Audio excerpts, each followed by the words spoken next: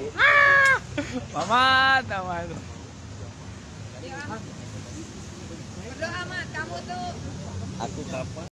Selamat malam Tribuners, bersama saya Tria Wulandari. Inilah update berita terkini yang dilaporkan langsung reporter Tribun Network dari lapangan. 2022 yaitu antara korban dan pelaku akan melakukan transaksi jual beli barang ya dengan cara COD.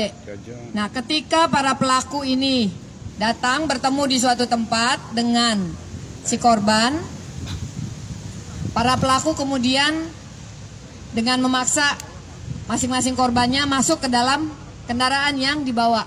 Mereka menggunakan mobil Toyota Avanza warna putih, ya, warna putih.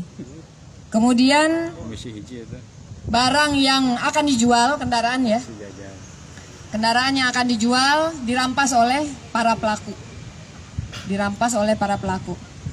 Atas kejadian ini korban melaporkan kepada jajaran kepolisian dan dilakukan serangkaian penyelidikan-penyidikan. Kemudian kita ketahui para pelakunya yaitu inisial OK dan inisial RK. Mereka berdomisili di Kecamatan Jagakarsa, Jakarta Selatan dan yang satu lagi di Kecamatan Cilengsi, Kabupaten Bogor. Dan masih ada yang belum kami temukan, masih DPO sebanyak empat orang, masih kita kejar. Ya. Adapun pasal yang kita kenakan yaitu pasal 365 ayat 1 KUHP dengan ancaman hukuman 9 tahun.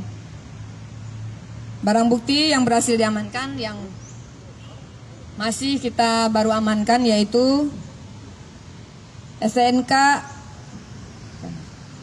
maaf.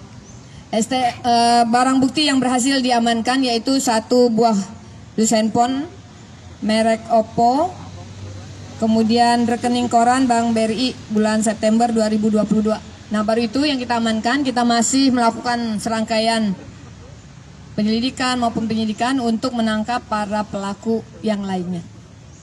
Demikian dari kami yang bisa kami rilis pada hari ini. Mohon doa semoga para pelaku yang lainnya bisa segera kami ungkap. Terima kasih. Wassalamualaikum.